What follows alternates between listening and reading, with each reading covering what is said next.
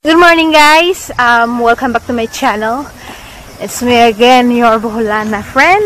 And it's 6 o'clock in the morning. Andito na ako sa Bohol. This is my first day in Bohol. And it's July 1st. Um, maaga ako nagising. Tapos pagising ko, tayo agad. Inutusan ako ni tatay, bumili na manok sa uncle namin, sa farm, dun sa may unahan. Medyo malayo, mga 700 meters siguro. Lalakarin lang namin. Exercise na rin kasi matagal na rin akong hindi nakapaglakad ng malayo-layo. Kasama ko si Terry. Kaway-kaway. Wala pa kami hilamos. Diretso tayo na kasi kung mamaya pa kami, sobrang init na kasi iba yung init ngayon eh. Parang nakakasunog ng mata. Galon ako guys, pag naglalakad ako. Okay lang masunog yung skin ko, kaya ko siya. Pero yung mata ko masakit. Pag sobrang init. Yun yung hindi ko kaya. Hinihingal na ako, grabe. Tingnan nyo guys, yung baboy. Wag na nga lang. Ang laki.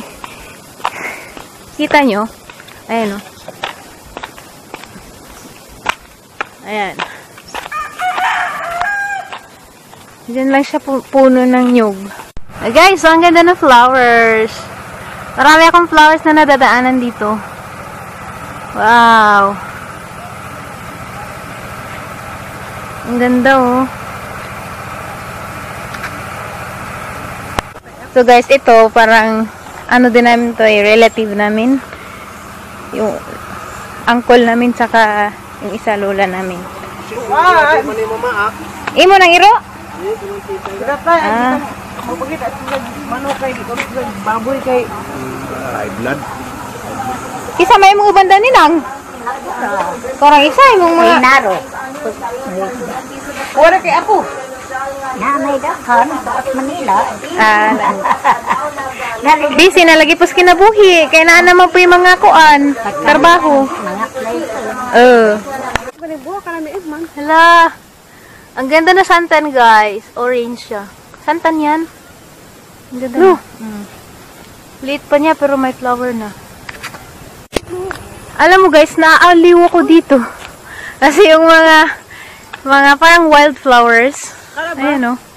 Mga wildflowers lang yan. Ang ganda. Ay mo man ang buha ko. Huh? Magtagalog ka. Ayun, oh. Ang ganda. Meron din ganito na ano lang eh, orange lang. Na. Ang dami nila oh. Iba Saka din yan, iba- ito ibang eh. klase yan. Iba rin yan. Oh, ang ganda. Ang dami. Na, meron din Santana Lilo. Open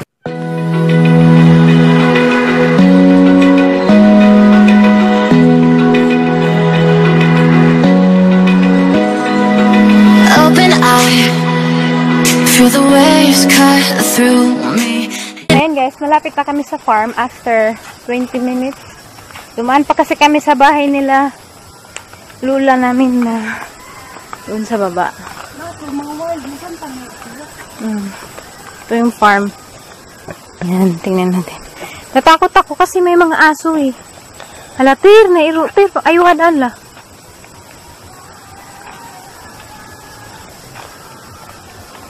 Pa may aso eh. Halang la. Ano, tingnan nyo guys, may tawag yan. Ang tawag dyan, pabo. Nangahabol pa naman yan. Tawagin mo si Dindo. Halatir, bawal pasok. Bawal pasok kay nairo ng anak.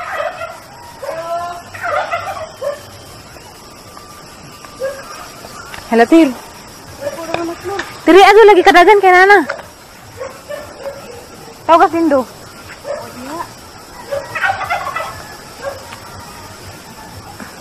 Atras ako guys, wala. Si Terry doon nabuli ng aso.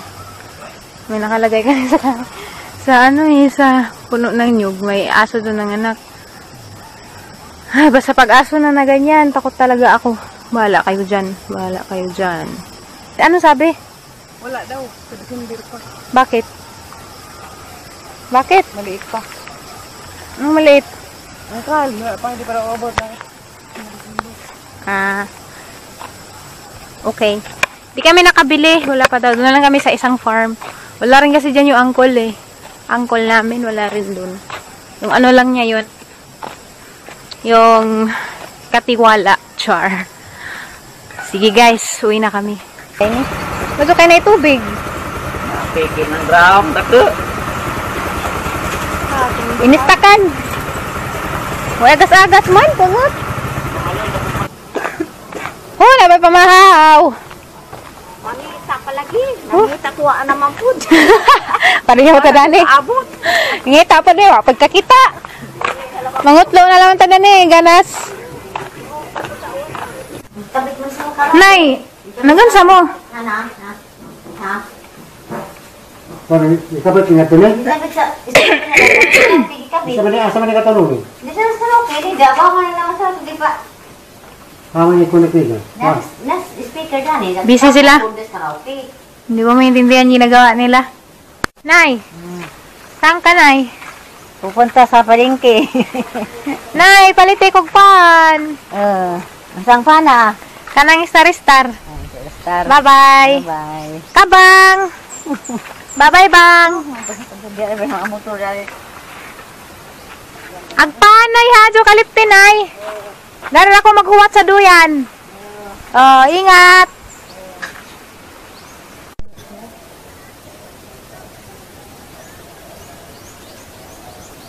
Ang hina ng signal. Nakakunik ka? Birthday pala ni ano, ni Leslie. Great motor.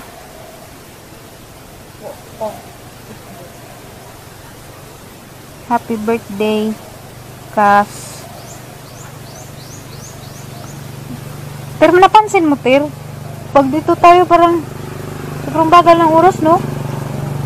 Ina mo, alas 8 pa lang. Ang Dami na nating nagawa. Maglilinis kami mamaya, guys. Kasi sobrang dumi ng bahay. Kailangan mag-general cleaning. Kasi bukas uwi yung iba naming kapatid. Kasi birthday ni tatay.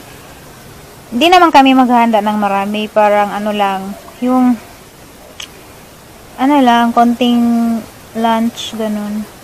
Konting handaan, lunch. Tapos, um, yung mga bisita niya, yung mga barkada niya, yung mga kabatch niya, pupunta rin. Yun lang. Tapos, ano, siguro mag-video kay kami pag kagabi. Yun lang. Hinihintay ko si nanay kasi nagpapabili ako ng tinapay.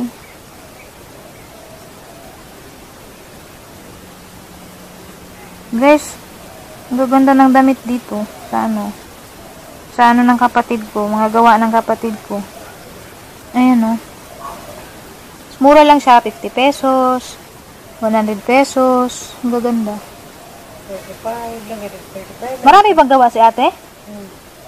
May 13 pesos. Dito kami guys sumatambay sa Mayduyan sa ano ano to eh puno ng nangka. Kasi dun sa bahay hindi ako makapag-vlog kaya nga napapansin nyo wala akong vlog pag dun ako sa bahay kasi sobrang lakas ng radio. Yung radio ng ano ng tawag dun, mga balita ganyan.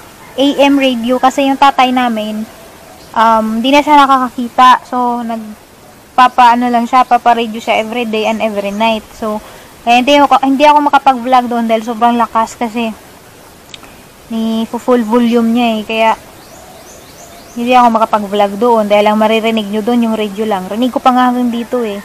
Siguro nasa 20 steps away from home kami. Rinig ko pa rin yung radio. Kaya, kung mapapansin nyo yung mga vlog ko sa labas, or kung may vlog ako sa loob ng bahay, bihira. Yun lang yun kapag hindi siya nagpapa-radio. Kahit na kumakain kami, naka-on yung radio niya eh. Yung Bombo Radio, Philippines. Ganon yun eh. Di ba, Ret? Pag sa room ko naman, pwede, pero medyo maingay pa rin. Ang lakas kasi ng radio niya. Talagang full volume with speaker pa. Inahayaan lang namin para at least naman, ano siya, para ma-enjoy siya. Kasi yun na lang yung ano niya, ilibangan niya eh. Kasi, di ba, ikaw ba naman di makakita? So, nag imagine na lang siya while listening to the radio. Kaya, pinagbibigyan namin siya ng bonggang-bongga. Sarap ng hangin dito sa, sa probinsya, guys. Alam mo, guys, kagabi, yung first night ko dito, one month lang naman ako nawala. Pero nanibago ako sa, ano, sa lamig. Parang ang lamig-lamig dito. Kasi, di ba, galing ako Manila, sobrang init doon eh. Nilalamig ako kagabi. Ano ka? Hindi mo ba nakita? Dalawa pa yung kumot ko eh. Ako hindi ko nagkumot. Ikaw, kasi parang, ako, ano, kasi ako, nanibago ako sa Manila, kasi parang times 10 yung init eh. Kaya parang nanibago ako pagdating ko, wala, ba't ang lamig-lamig dito? Dalawa nga yung kumot ko eh, makakapal, pinagpatong ko pa. Promise! Pupari ka kabantay. Nga nag, tikongkong ko. Sobrang lamig, nila- nilalamig, nalalamig ako kagabi. Sarap ng hangin, parang nare-relax ako, ayan o. Ang lakas ng hangin. Mm. Tagbasas na naitir! Hala, natuli. Ayan na si nanay, umuwi na, may dala siyang sakubag. Bawal na kasi yung plastic sa merkado. Ah, inaantok na kasi ako. Bawal na yung plastic sa ano, palengke. Ayan. May kindi ba daw? Nay! Nay! Nay, pan! Oh, na na mo. Ano na lang? Ah, bol, bol. Bol, pan.